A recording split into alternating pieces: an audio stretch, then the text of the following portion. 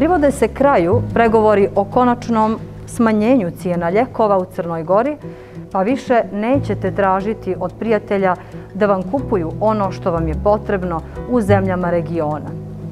Ministarstvo zdravlja je obezbijedilo više milijonske donacije od strateških partnera i to od SAD, Evropske unije i u okviru nje države Njemačke. Obezbijedili smo milioni dvesta hiljada eura za skener i angiosalu u kliničkom centru. Najveća zdravstvena ustanova je dobila i svoju PCR laboratoriju sa čak dva aparata. Samo za godinu u kliničkom centru je uloženo preko 2 miliona eura.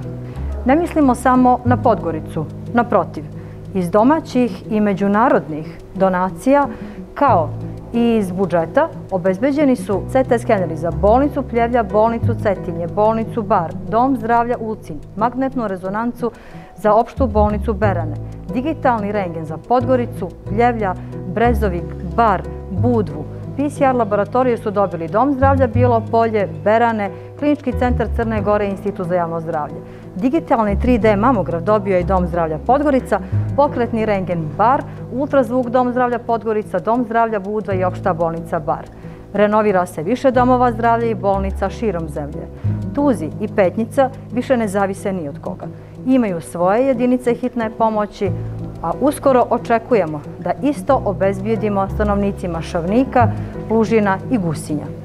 Ponovo je pokrenut screening program za prevenciju malignih bolesti.